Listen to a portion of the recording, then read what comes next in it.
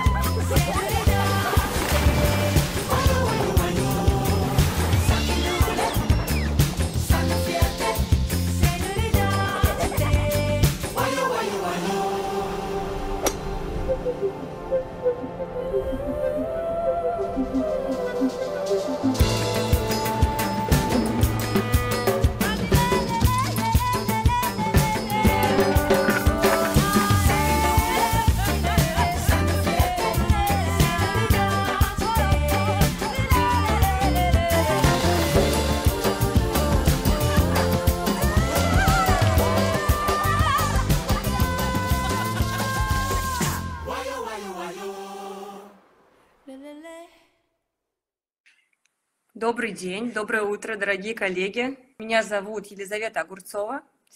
Я являюсь маркетинг и пиар-менеджером в компании Aviareps и представляю управление по туризму Маврикия в России. Спасибо. Я надеюсь, что вы почувствовали энергию нашего острова, ведь это наш э, слоган управления по туризму. И при просмотре этого видео можно окунуться в Маврикий, э, узнать его за всего лишь за одну минуту и э, три секунды. Да, ссылка на видео будет э, в конце, и также ссылка на презентацию. А, Давайте начинать. Как я уже сказала, слоган нашего управления по туризму, слогана Маврикий – это «Почувствуйте энергию нашего острова». И, собственно, зачем ехать на Маврикий? Для чего посылать ваших туристов туда? Маврикий – это прекрасное место для того, чтобы сбежать от суеты, от города, а, чтобы окунуться в невероятную райскую атмосферу.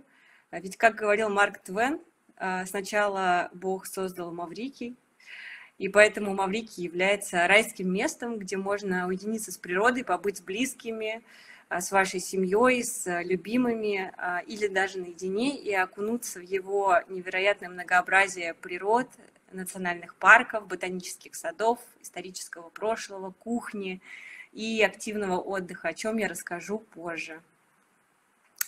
Поэтому мы всегда приглашаем на наш остров и просим вас чувствовать себя как дома. Маврикий богат различными ландшафтами. Это и горы, и лагуны, водопады, различные пляжи, которые подходят для, на любой вкус и цвет, а, национальные парки и аутентичные гастрономические рынки. Это райское место, где можно найти абсолютно все. Собственно, освежу ваши знания и э, напомню, где находится Маврикий. Маврикий находится в Индийском океане, недалеко от острова Мадагаскар, к востоку от него и к востоку от э, Африки как континента. И очень важная дата для Маврикия, ведь Маврикий является независимым государством, республикой, достаточно молодым, и год независимости Маврикии – это 1968 год. А до этого Маврикий был а, под влиянием европейских государств, он был колонией сначала. А, Вот. Поэтому Маврикий собрал в себя множество культур, переселенцев из разных стран, о чем я расскажу чуть позже. На Маврикии все рядом. А, От одного конца острова до другого можно доехать примерно за полтора часа в зависимости от трафика а, и от времени суток, потому что иногда можно доехать очень быстро, а утром и вечером, например, а, очень большие пробки в связи с тем, что все возвращаются, а, едут и возвращаются с работы. А, Это очень важно планировать, э, когда выбираете отель для вас или для ваших туристов. А, На все вопросы я отвечу в конце. Буду рада, если вы напишите их в наш чат. Как добраться из России? А, У нас есть прямые рейсы и рейсы с пересадкой. Прямые рейсы – это Аэрофлот из Москвы. А, на данный момент это два рейса в неделю. С 23 декабря планируется запуск третьего рейса. Рейсы с пересадкой на авиакомпаниях Emirates, Fly Dubai, Turkish. Emirates э, летает из Москвы и Санкт-Петербурга, Fly Dubai из регионов, и Turkish тоже из Москвы и Санкт-Петербурга с пересадкой в Стамбуле. Какие языки на Маврикии? Вообще Маврикия – это такое невероятное место, где э, э, существует смешение культур, и практически все маврикийцы говорят на трех языках то есть с рождения. Они говорят на английском, французском и креольском языке, а также в зависимости от э, происхождения предков они изучают свой э, родной язык предков. Население острова – это яркое сочетание различных культур, традиций и религий. На острове проживают переселенцы из Африки, из Китая, из Индии и из европейских стран. И живут в мире и гармонии своих культур и религий. Как вы видите на нашей картинке, это многонациональная самобытность острова, где все люди проживают в мире. А, эта смесь культуры и религии создает невероятное многообразие архитектуры, фестивалей и мероприятий, как культурных, так и спортивных. А, что по поводу климата? Как вы, наверное, знаете, Маврикий – это круглогодичное направление а, со своими особенностями климата. Когда у нас лето, у них зима, когда у них зима, у нас лето. Как видите, колебания температур есть, но оно достаточно небольшое летом и зимой. А, вот, температура воды тоже немножко разная. Летом 26-30 градусов, зимой 22-25. Вот. А, также стоит уточнить, что прибрежный климат и климат внутри острова немного разный. Прибрежный чуть более теплый, чем внутри острова. И это очень комфортно, например, при планировании экскурсий, что внутри острова будет чуть менее жарко, чем, например, на побережье. А, мы сегодня здесь э, ради туризма, ради туризма на Маврикии, поэтому расскажу немного в деталях. Для Маврикия туризм – это третья по значимости отрасль в экономике, и она играет решающее значение в формировании инфраструктуры, а, и социально-экономического развития острова. В 2023 году ушедшем Маврикий принял где-то 1,3 миллиона туристов и принес прибыль, эта индустрия принесла прибыль а, в размере 85 миллионов рупий. Средняя продолжительность пребывания туристов на острове на их каникулах 11-12 дней, то есть такие long stay holidays. Вот, и около 100 тысяч человек а, заняты в индустрии туризма. На данный момент на острове 114 лицензированных отелей, а, а также 7 тысяч а, различных других а, мест для размещения. Это и гостевые дома, это частные дома, виллы, квартиры и так далее.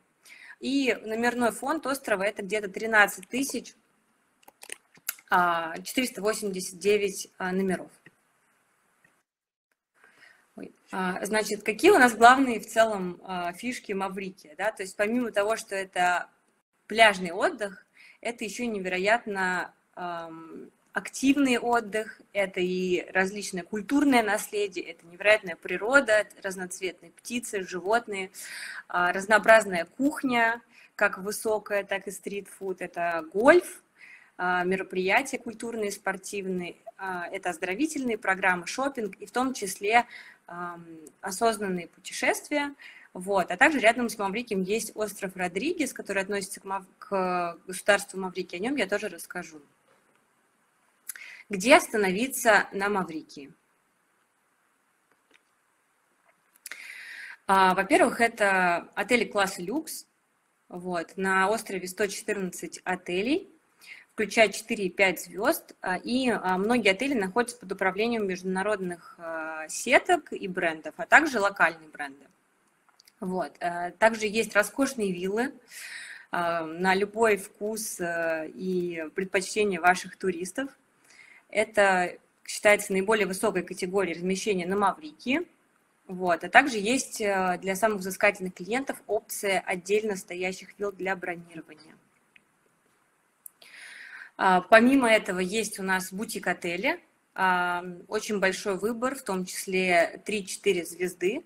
для такого аутентичного отдыха, а, вот, и э, такие невероятные уникальные места для проживания, э, например, экологи, глэмпинги, вот на фотографии вы можете увидеть справа сверху такой Bubble Lodge, э, это отель в таком шаре, который располагается на острове Илё-Сёрф, есть на данный момент четыре таких бабла, два из них располагаются как бы в лесу и два на пляже. Сейчас строят еще дополнительно достаточно такой популярный experience, например, на одну-две ночи.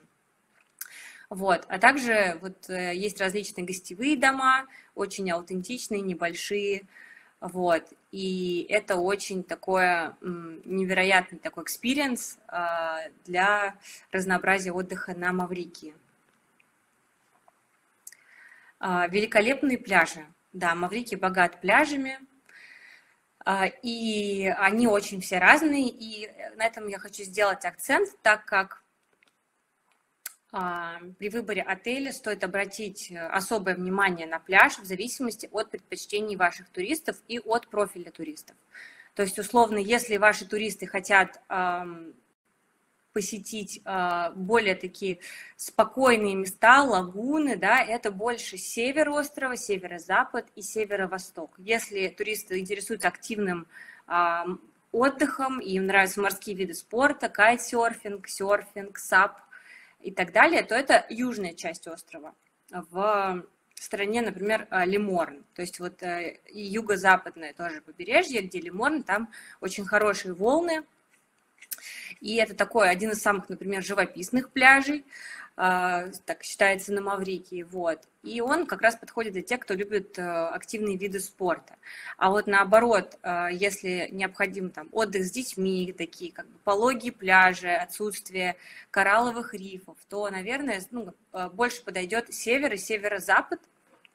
Вот, например, пляж Троубиш или Бельмар – это такие хорошие пляжи для семейного отдыха. Если у вас будут больше вопросов по выбору пляжа, вы можете задать мне их э, позднее, и я э, прокомментирую. А, вокруг Маврикия есть 49 маленьких островков. Вот. А, они являются необитаемыми. На них располагаются национальные парки а, и природные заповедники. А, к ним есть различные экскурсии на лодках и на катамаранах. Можно приплыть, а, заняться снорклингом или просто насладиться вот такой дикой природой. А, также это места биоразнообразия различных морских птиц, рептилий и лесов, и там нельзя сорить, оставлять какие-то свои вещи, то есть это такое очень уникальное место природы. Вот. А также есть гольф-клуб Илюсерф, он располагается на отдельном острове, туда необходимо плыть. А, вот. И это такое место, где есть э, гольф-поля мирового уровня, также Баба Лодж, вот эти отели в таких шарах, и там ресторанчики, пляжи, такое тоже очень интересное место. А, такое неочевидное для Маврики особенность, да, не все об этом знают, о том, что Маврики – это бывшее колониальное государство, то есть это имеет колониальное прошлое, и стоит открыть для себя старинные особняки и замки Маврикия. А, я бы хотела остановиться на а, Шато Бурдоне. Это такой невероятный замок в колониальном стиле, окруженный а, лесами и природой. Он является одновременно и музеем, и рестораном. Также там можно продегустировать, например, ром и мармелад. Я бы хотела сконцентрироваться на Шато Бурдоне. Это такое интересное место, замок в колониальном стиле. Он окружен а, лесом и парком, то есть такое очень красивое историческое место, которое находится прямо в природе. А, он является одновременно и музеем, и рестораном. Там проходят различные мероприятия, поэтому если вы или ваши туристы соберетесь туда поехать, лучше проверить или позвонить туда, вот, потому что его часто снимают для частных мероприятий. А, там можно пройтись как по музею, пообедать, а также продегустировать а, ром и местный мармелад. Вот. Помимо этого, на Маврикии есть э, невероятное количество таких памятников всемирного наследия ЮНЕСКО. Вот. Наверное, визитная карточка – это гора Леморн, которую можно увидеть, э, загуглив э, Маврикий. Вот. А также э, наследие британской колонии, бывшее здание о правах Сигухат. Вот. А нематериальным наследием ЮНЕСКО является, наверное, как вы уже видели, национальный танец Сега, вот, а также предсвадебная церемония индийского происхождения Гид Гавай. Немного о природе Маврикии хотела бы вам также рассказать. Я думаю, что эта фотография описывает эм, разнообразие цветов этой ящерицы на Маврикии, потому что когда вы туда приезжаете, создается ощущение, что вы во сне. Все настолько яркое вокруг, э, природа, птицы, ананасы, которые растут вдоль дорог, что просто разбегаются глаза.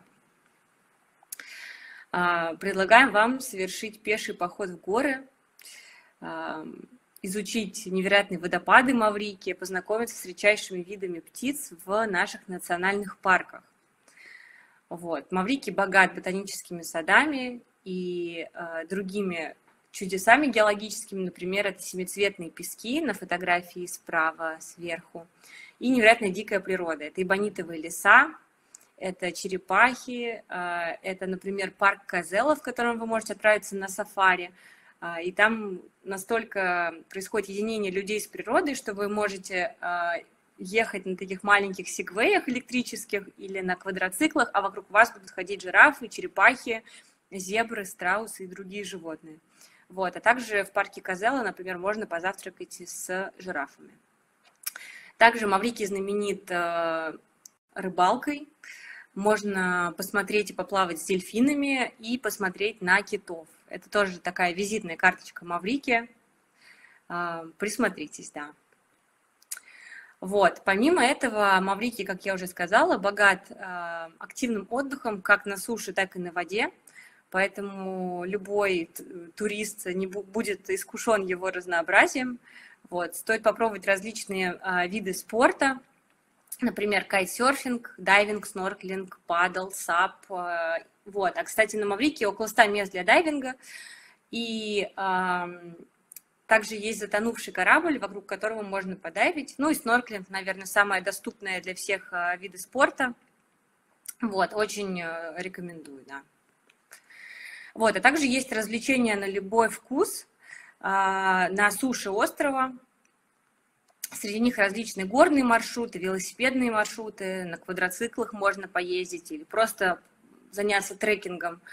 Вот. Есть различные сафари-приключения, а, канатные дороги, то есть гольф, тоже гольф мирового класса, о котором сейчас расскажу дальше. Вот, это такое достаточно интересное времяпрепровождение.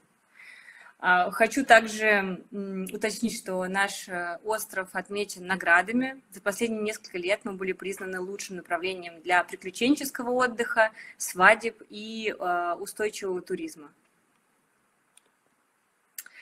Вот, а также э, на Маврики приезжают за гольфом. Это тоже такой интересный факт, потому что он является одним из лучших в мире мест для игры в гольф. Проходят различные турниры. На острове около 15 полей для гольфа. До каждого из них удобно добираться. Вот. И э, проходят крупные турниры. Э, все гольф-поля созданы по мировым стандартам и э, спроектированы величайшими гольфистами. традиционная кухня. Вот. Как вы уже понимаете, так как на острове проживают переселенцы, бывшие переселенцы и потомки различных культур и народов, а, культ еды стал важной частью жизни маврикийцев. Вот. На, на эту кухню повлияли традиции индийской, китайской, африканской и европейских культур.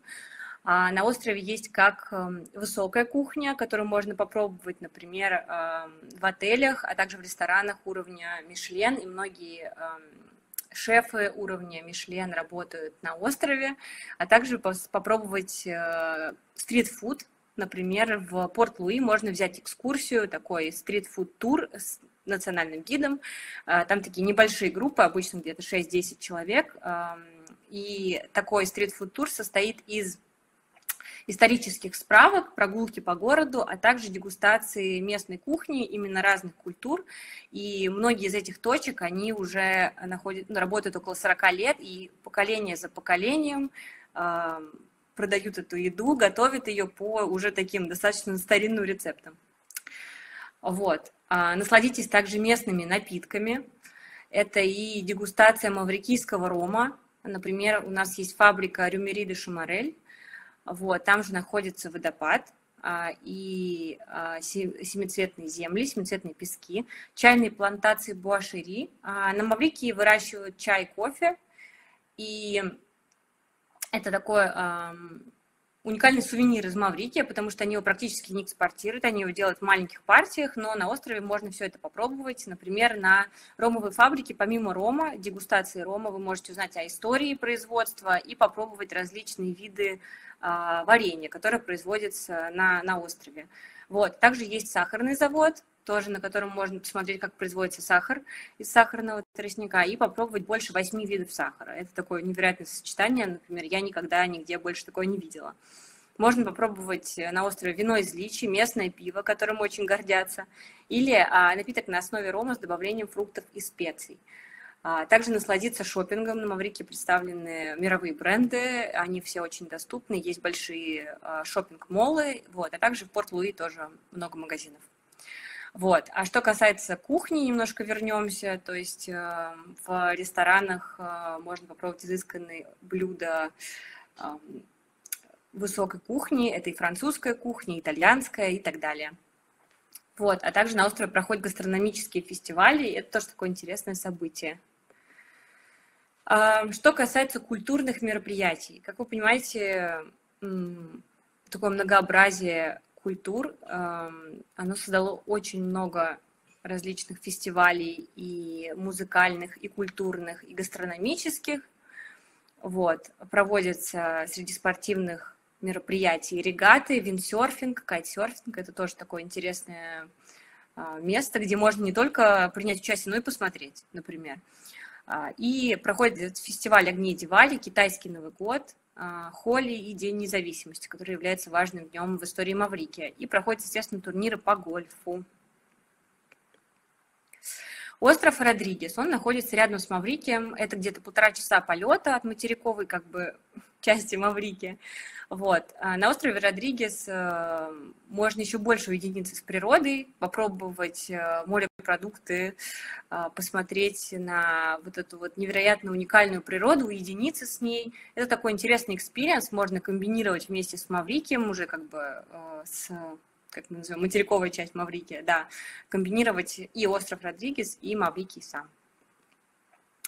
Маврикий поддерживает устойчивый туризм, он является приоритетом. Вот. Они стараются сохранять природу различными способами. Например, а, на Маврике вы не найдете пластик, там нету пластиковых пакетов, вот, в том числе в магазинах, только многоразовые сумки. А, нету пластиковых трубочек, крышек и всего другого, да. Вот.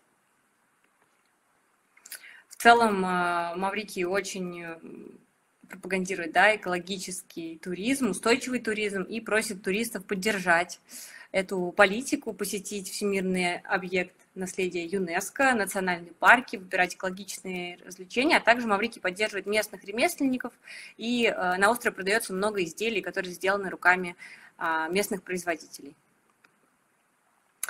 А, кстати, многие отели, а, у которых рядом располагается коралловый риф, у них есть целая команда, которая занимается восстановлением кораллового рифа и заботой о нем.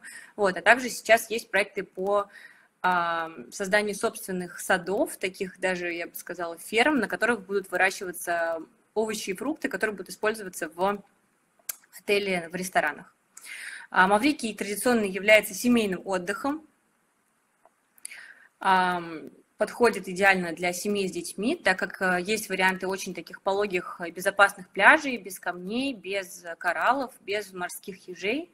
А в каждом практически отеле, э, особенно пяти звезд, есть э, прекрасные детские клубы с 3 до 11-12 лет. Есть также программы для тинейджеров. Вот, то есть в целом детям будет очень интересно в том числе. Очень приветливые местные жители, очень безопасно, теплая вода, невероятно красивый пляж, как я уже сказала, и есть различные а, природные парки и увлекательные музеи, в которых а, есть уклон для аудитории более младшей, скажем так. Так что Маврики очень комфортен для семейного отдыха. Помимо этого, Маврикий прекрасно подойдет для романтического отпуска. Вот. И он также традиционно является направлением для влюбленных пар, потому что на острове помимо пляжного отдыха есть приключения и активный отдых. Вот. Э, можно покататься на катамаране на закате, позавтракать, поужинать или поужинать на пляже. Многие отели предоставляют такую опцию. Можно забронировать романтический ужин прямо на песке. Вот. И есть различные предложения для молодоженов в отелях. Скидки там и так далее, в зависимости от сезона. А, также Маврики прекрасно подходят для проведения свадеб. Есть официальные и символические церемонии. Очень много локаций для проведения свадеб. Например, а, белоснежные пляжи, на которых можно провести церемонию, сады, яхты, а, колониальные особняки, про которые я уже говорила, и очень хороший набор профессиональных организаторов, к которым можно обратиться. Кейтеринг, декор, фейерверк, в целом по мировым стандартам можно прекрасно провести свадьбу. Вот. Также, как вы знаете, на Маврикии прекрасного уровня отдых премиум класса, очень хороший высокий сервис, различные опции, полетать на вертолете, заказать яхту. И, э, ну, то есть это такое очень подходящее место для, для взыскательных туристов. Оздоровительный отдых, спа, тайчи, йога. В целом практически в каждом отеле есть такие спортивные оздоровительные программы. Вот. А также майс-туризм и круиз. Вот. А также такая интересная фишка острова, государства Маврикий, что есть опция подать на заявление на получение премиальной туристической визы, которая будет действовать сроком до года с возможностью продления. То есть это виза премиум класса. Возвращаясь к нашему слогану, приезжайте, чувствуйте себя как дома и почувствуйте энергию нашего острова. Здесь есть мои контакты. Еще раз напоминаю, меня зовут а, Елизавета Огурцова. А, мне можно писать на почту, на WhatsApp, если у вас есть какие-то вопросы, если нужно что-то посоветовать. Вот, спасибо вам большое за внимание и приезжайте к нам на Маврикий. Вот, на этом моя презентация заканчивается. Мы а, сейчас приступим к вопросам. Так, как сейчас а, можно добраться до Маврикия? А, смотрите, из России можно добраться прямым перелетом из Москвы на Аэрофлоте, а также а, есть рейсы из Москвы и Питера тоже, Emirates, Turkish, из регионов летает Flight Dubai с пересадкой, э, то есть Flight Dubai и Emirates летают с пересадкой в Дубае и Turkish с пересадкой в Стамбуле. Насколько быстро подтверждаются отели на острове? Ну, тут можно скорее сказать среднее, то есть все зависит от отеля, я не могу э, сказать конкретные там количество там, часов или дней, а также в связи с циклоном, который прошел недавно, подтверждение отеля было сильно дольше, да, мы столкнулись с этим, но это было связано с форс-мажорными обстоятельствами. Так, э, в какое время года комфортнее всего отдыхать на курортах Маврики. Смотрите, Маврики – это круглогодичное направление, то есть можно ехать круглый год. Очень важно а, учитывать особенности побережья, то есть, например, если ваши туристы едут а, условно, когда у нас лето, а на Маврикии зима, то не стоит выбирать южное побережье. Там как бы достаточно большие волны и ветер, то есть, наверное, предпочтительнее выбрать э, север, северо-запад и северо-восток. И в целом вот эта часть острова, она является а, такой универсальный круглый год. Вот. Но также на западном и восточном побережье тоже прекрасные есть отели, а, хорошие пляжи, а, которые отлично подойдут для лета на Маврикии, именно лето, когда у нас зима. Так, а, Сколько времени занимает перелет из Москвы? Смотрите, прямой перелет из Москвы – это примерно 11 часов полета на аэрофлоте. А, сейчас у нас есть вопросы с, техни- с техническими посадками, вот, поэтому полет занимает чуть больше. Вот. Но это вопрос в процессе решения. Если а, лететь с пересадкой из Москвы, ну, в среднем это, а, например, где-то 15-16 часов с учетом пересадки ну и больше, в зависимости от предпочтений ваших туристов, захотят ли они сделать э, стоп-овер, например, в Дубае или в Стамбуле, или они хотят лететь напрямую. Э, как обстоят дела на острове э, после цунами? У нас не было цунами, у нас был циклон, Вот, дела обстоят хорошо, все отели потихоньку восстанавливаются, те, которые пострадали. Если были какие-то пострадавшие отели, они переселяли туристов в другие отели. Вот, сейчас все хорошо, есть небольшой дождь, но циклон уже закончился, все работает в штатном режиме, аэропорт работает, практически все отели чувствуют себя замечательно. Так, где туристам придется питаться, если они бронируют только завтрак? А, смотрите, а, в целом как раз Маврикий это такое идеальное место, где можно попробовать различную кухню, да, и получается, что а, в отличие от э, традиционных all-inclusive направлений, да, здесь очень много мест, где можно питаться вне отеля. То есть если ваши туристы бронируют экскурсию, то, скорее всего, она как бы будет включать в себя питание, Плюс есть туристические городки, например, на севере острова есть э, туристический город Гранд-Бэй, в котором можно найти очень много ресторанов. А, вот. То есть, как бы в целом, в зависимости от программы ваших туристов а, и от э, локации, где они живут, то есть, как бы, если они хотят питаться вне отеля, то а, и хотят такую шаговую доступность, лучше выбирать места, где рядом есть туристические деревни. Нужны ли визы или анкеты для прилета? Да, смотрите, виза для россиян отсутствует, 60 дней без визы. А, то есть ее не нужно делать заранее, но желательно за день до а, вылета нужно запомнить, заполнить э, эм, Mauritius онлайн форм. Это такая онлайн-форма, в которой вы указываете, где вы будете жить, а, на сколько дней вы приехали, нет ли у вас каких-то проблем со здоровьем.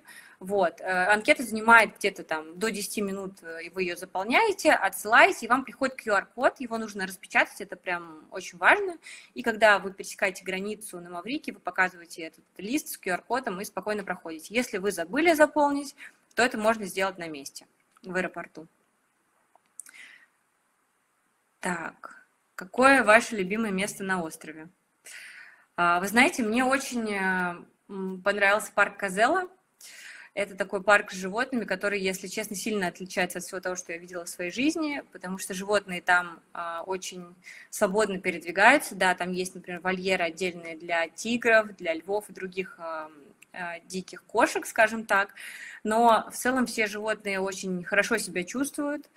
Вот, они, то есть скорее мы гости для них, чем они как бы для нас, да, вот, то есть люди являются там гостями, и животные главные, и вот этот невероятный experience с сафари-парком, то есть вы можете прям а, покататься между животными с гидом а, и окунуться в эту природу, увидеть жирафов, которые едят около вас, больших черепах и зебр, то есть это такое невероятное приключение, я бы даже сказала.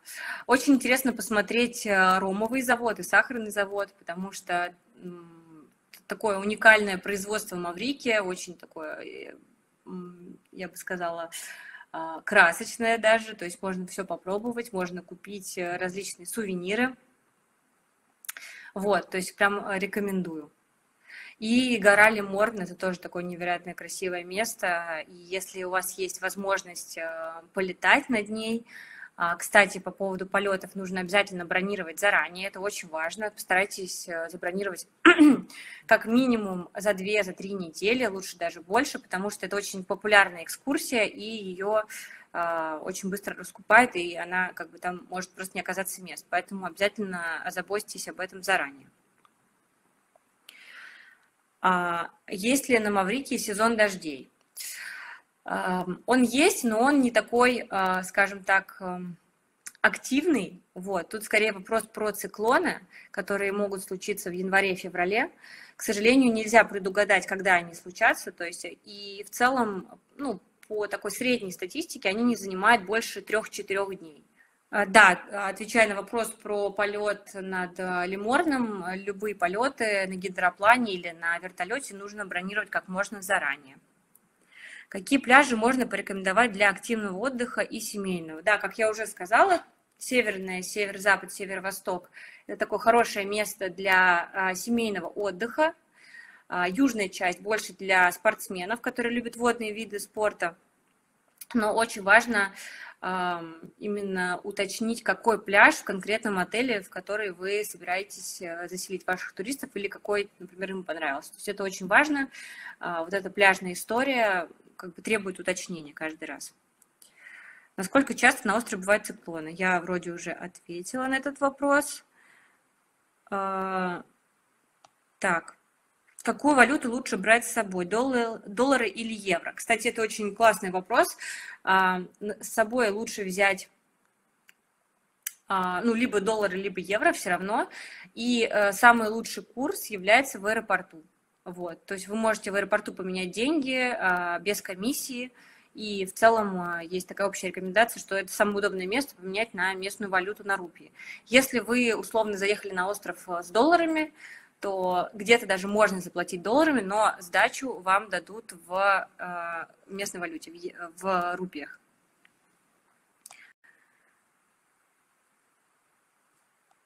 Так, насколько дорого обедать и ужинать? Какой средний чек? Все зависит от предпочтений, потому что, как я уже сказала, на Маврике есть и высокая кухня, то есть это рестораны уровня Мишлен, а, там, европейская кухня и так далее, а есть э, гастро стрит фуд туры есть классные рестораны и кафе в Порт-Луи, например, и в таких туристических деревнях, как Гранд Бэй, да, про которые я уже говорила. Вот, то есть все зависит от предпочтений. То есть э, там, условно, если турист хотит попробовать местную кухню стрит-фуд, это будет прям очень дешево. Если это высокая кухня, то это будет уже сильно дороже. А нужны ли какие-то прививки для посещения Маврики? Нет, никакие прививки не нужны. На остров очень безопасен с точки зрения болезней, то есть никаких болезней там нет. Вот. Кроме того, остров окружен а, коралловым рифом, то есть никаких акул. А, я не слышала, чтобы встречались медузы в каком-то там активном количестве. Да, кое-где есть морские ежи, вот, и при планировании вашего путешествия лучше захватить коралловые тапочки, вот, потому что если а, ваши туристы планируют условно путешествовать по острову, то на некоторых пляжах есть камни, а где камни, там могут быть э, ежи. И также нету опасных насекомых и опасных животных, это тоже очень важно. Так, а, по поводу стоимости экскурсии на вертолете, а, в среднем, то есть в зависимости, ну там обычно полеты по 15 минут, насколько я помню, где-то там колеблется диапазон, вроде 400-500 евро, какая-то такая стоимость. Да, вроде я ответила на все вопросы. Да, спасибо вам большое. А, желаю вам хорошего дня. А, запись будет, также презентация и ссылка на видео. Вот. Желаю вам хорошего дня. Всем спасибо и до свидания.